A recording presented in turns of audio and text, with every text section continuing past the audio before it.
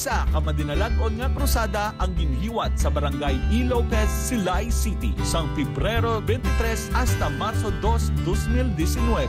Ini nga krusada ginpangunahan ni Pastor Brent Blando ang District Pastor sang Silay City kag sa pagsuporta sang aton Negros Occidental Conference kag mga bisita nga naghalin sa iban nga mga pungsod si Dr. Felcar Morada ang naghatag sang mensahe sa among nga duog kada gabi kaupod sang iya team nga halin sa Amerika kag Australia naging pangunahan ni Pastor Manny Taganile Church Pastor sa California siya nagpasalamat sa mga tumalambong kada gabi subong man ang paghatag kasanag na hanungod sa maayong panglawas ngaging pangunahan ni Mr. Elmore Orquiola isa ka nurse sa Sydney, Australia madamo ang residente sa among nga duog gani sa bulig sa Adventist Medical Center Bacolod kag Orange Country, California Medical Teams. Isa ka medical mission ang ginhiwat sa among nga lugar sang Pebrero 23, 2019.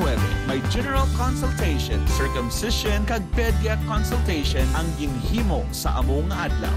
Nangin mabinungahon ang among nga krusada nga may total nga 114 ka mga kalag ang nabautismuhan 81 ang halin sa nagtambong sa Evangelistic Crusade kag may 33 man nga ginbautismuhan pinaagi sa jail ministry.